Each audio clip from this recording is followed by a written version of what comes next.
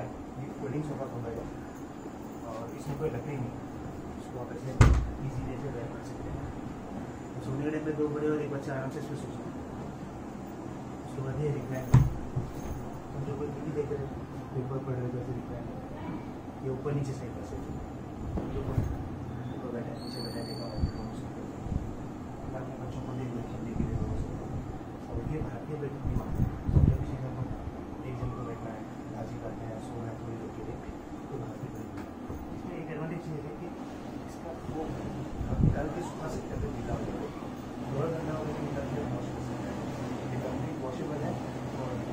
Phone जो हमने इसके अंदर यूज़ किया वीडियो से करते हैं फ़ोन यूज़ किया और इसमें डरती नहीं है इसके लिए सर्विस कहीं भी मूव कर सकते हैं इसे।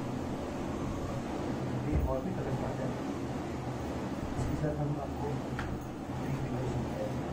और भी कलर्स के नीचे भी हो। सकते